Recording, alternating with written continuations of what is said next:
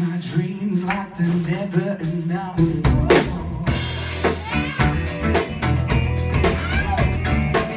Living for something, but I keep getting stuck.